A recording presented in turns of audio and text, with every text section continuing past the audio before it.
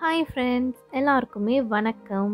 Welcome to Nala's home cooking இன்றைக்கி நம்ம ரொம்பவே டேஸ்டியான அவல் போட்டு ரெசிபி தான் பார்க்க போகிறோம் இது நல்லா உதிரி உதிரியாக சாப்பிட்றதுக்கே அவ்வளோ சூப்பராக இருக்கும். இப்போ வாங்க இந்த டேஸ்டியான ரெசிபியை எப்படி செய்கிறதுன்னு பார்க்கலாம்.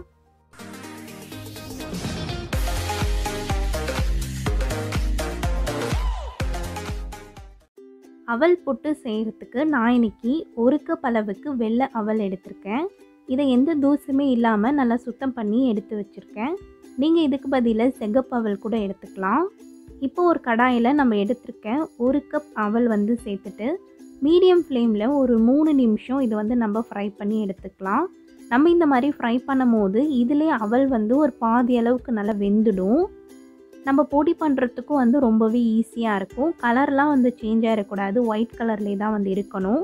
நம்ம ஹை ஃப்ளேமில் வச்சு ஃப்ரை பண்ணிட்டோம்னா கரிஞ்சிரும். அப்போ சாப்பிடும் போது கசப்பெடுத்துரும் மீடியம் ஃப்ளேம்லேயே வச்சு ஒரு மூணு நிமிஷம் இதை வந்து நம்ம ஃப்ரை பண்ணி எடுத்துக்கலாம். இப்போ பாருங்கள் இதை வந்து நான் நல்லா ஃப்ரை பண்ணி எடுத்துட்டேன். இப்போ ஸ்டவ் ஆஃப் பண்ணிவிட்டு இதை வந்து நம்ம ஆற வச்சுக்கலாம். இப்போது இது நல்லா ஆறுனதும் ஒரு மிக்சி ஜாரில் சேர்த்து நம்ம இதை வந்து நல்லா அரைச்சி எடுத்துக்கலாம். நல்லா ஃபைன் பவுடராக அரைச்சி எடுத்துடாதீங்க கொஞ்சம் திரி திரியாக ரவை பதத்துக்கு இருந்தால் தான் ரொம்ப சூப்பராக இருக்கும். இப்போ பாருங்கள் நான் இந்த அளவுக்கு நல்லா அரைச்சி எடுத்திருக்கேன். இதுலேயே வந்து நான் ஒரு ரெண்டு ஏலக்காய் வந்து சேர்த்து நல்லா அரைச்சி எடுத்திருக்கேன். அப்போ நல்லா ஃப்ளேவர்ஃபுல்லாக சாப்பிடும் போது ரொம்ப டேஸ்டியாக இருக்கும். இப்போது நம்ம அரைச்சி எடுத்திருக்க அவலை ஒரு பவுலில் வந்து சேர்த்துக்கலாம். இது வந்து ரவை மாதிரி திரி திரியாக தான் வந்து இருக்கும். ரொம்ப நைஸாக வந்து அரைச்சி எடுத்துடாதீங்க இப்போ இதில் நம்ம கொதிக்கிற தண்ணி வந்து சேர்த்துக்கலாம்.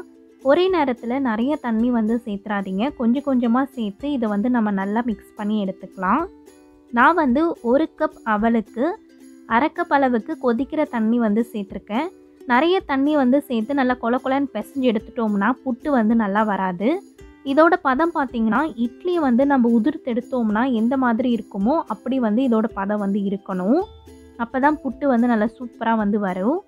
இப்போ இதை ஒரு பதினஞ்சு நிமிஷம் கிட்ட நம்ம அப்படியே வந்து வச்சிடலாம் இதை நம்ம தனியாக வந்து வேக வைக்க தேவையில்லை. ஆல்ரெடி இதை வந்து நம்ம ஃப்ரை பண்ணி எடுத்துருக்கிறதுனால அதிலே வந்து இது ஒரு பாதி அளவுக்கு நல்லா வெந்திருக்கும்.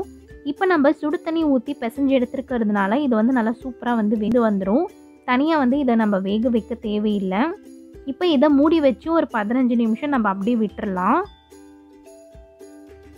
இப்போ ஒரு கடாயில் ஒரு ரெண்டு டீஸ்பூன் அளவுக்கு நான் நெய் வந்து சேர்க்குறேன். நெய் உருகுனதும் இதில் வந்து நம்ம நட்ஸ் சேர்த்து வந்து ஃப்ரை பண்ணி எடுத்துக்கலாம். உங்களுக்கு எந்த நட்ஸ் வேணுமோ நீங்கள் அதை வந்து சேர்த்துக்கலாம். நான் வந்து இன்றைக்கி பாதாம் பருப்பும் திராட்சை மட்டும்தான் வந்து எடுத்திருக்கேன். இப்போ பாதாம் ஃப்ரை ஆனதும் திராட்சையும் சேர்த்து நல்லா பலூன் ஆனதும் ஒரு ரெண்டு பீஸ் அளவுக்கு தேங்காவை நல்லா துருவி எடுத்திருக்கேன். இப்போ இதையும் சேர்த்து ஒரு பத்து செகண்ட் மட்டும் நம்ம நெய்யில் நல்லா ஃப்ரை பண்ணி எடுத்துக்கலாம். நெய்யில் ஃப்ரை பண்ணும் போது அதோட ஃப்ளேவர் வந்து ரொம்பவே சூப்பராக இருக்கும். சாப்பிட்றதுக்கும் நல்லா டேஸ்டியாக இருக்கும். ரொம்ப நேரம் வந்து ஃப்ரை பண்ண தேவையில்லை. ஒரு பத்து செகண்ட் மட்டும் ஃப்ரை பண்ணிவிட்டு ஸ்டவ் ஆஃப் பண்ணிக்கலாம்.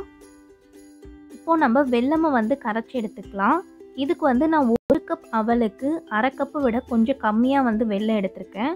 உங்களுக்கு வந்து நல்லா ஸ்வீட்டாக வேணும் அப்படின்னா நீங்கள் அரைக்கப் கூட எடுத்துக்கலாம். அப்படி இல்லை அரைக்கப் விட கொஞ்சம் அதிகமாக கூட வந்து எடுத்துக்கலாம். நான் வந்து ஒரு கப்புக்கு அரைக்கப் விட கொஞ்சம் கம்மியாக வந்து எடுத்திருக்கேன். இப்போ இதை வந்து ஒரு பாத்திரத்தில் சேர்த்துட்டு இதில் ஒரு ரெண்டு டேபிள் ஸ்பூன் அளவுக்கு நான் தண்ணி வந்து சேர்க்குறேன். ரொம்ப தண்ணி வந்து சேர்த்துறாதீங்க வெள்ளம்லேருந்தே நம்மளுக்கு தண்ணி வரும். இப்போது ஒரு ரெண்டு டேபிள் ஸ்பூன் அளவுக்கு தண்ணி வந்து சேர்த்துட்டு இதை வந்து லோ ஃப்ளேமில் வச்சு நம்ம கரைச்சி எடுத்துக்கலாம்.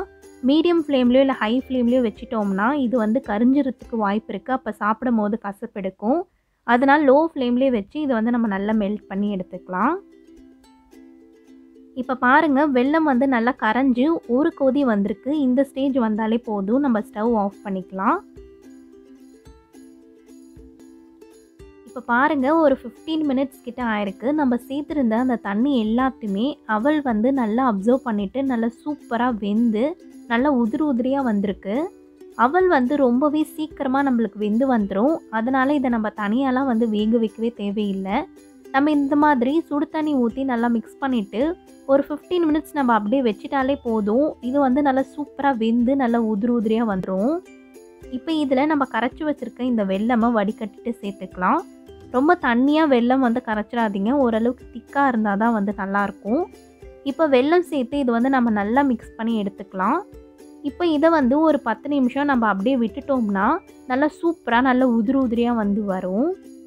இப்போது இதில் நம்ம ஆல்ரெடி ஃப்ரை பண்ணி வச்சுருக்கேன். இந்த தேங்காவும் நட்ஸும் சேர்த்து நல்லா மிக்ஸ் பண்ணி எடுத்துக்கலாம். உங்களுக்கு தேங்காய் வேண்டாம் அப்படின்னா நீங்கள் வந்து ஸ்கிப் பண்ணிக்கலாம். ஆனால் தேங்காய் சேர்த்து நம்ம சாப்பிட்டோம்னா அவ்வளோ டேஸ்டியாக நல்லா சூப்பராக வந்து இருக்கும். இது வந்து அரிசி மாவு புட்டு விட ரொம்பவே சிம்பிளாக வந்து நம்ம ரெடி பண்ணிடலாம் அதே நேரத்தில் ரொம்ப டேஸ்டியாகவும் இருக்கும். அவ்வளோதான் அவல் புட்டு வந்து ரொம்பவே சூப்பராக ரெடி ஆயிடுச்சு கண்டிப்பாக இந்த டேஸ்டியான புட்டு ரெசிபியை உங்கள் வீட்டில் வந்து ட்ரை பண்ணி பாருங்கள் நல்லா உதிரி உதிரியாக சாப்பிட்றதுக்கே அவ்வளோ டேஸ்டியாக இருக்கும். அரிசி மாவு புட்டு விட இது வந்து ரொம்ப சீக்கிரமாக வந்து ரெடி பண்ணிடலாம் ரொம்பவே வந்து டேஸ்டியாக வந்து இருக்கும். ரொம்ப ஹெல்த்தியாகவும் வந்து இருக்கும். கண்டிப்பாக இந்த ரெசிபியை வந்து ட்ரை பண்ணி பாருங்கள் ட்ரை பண்ணி பார்த்துட்டு எப்படி இருந்ததுன்னு கமெண்ட் பண்ணுங்கள் மறக்காமல் நம்ம சேனலுக்கு சப்ஸ்கிரைப் பண்ணிக்கோங்க. தேங்க்யூ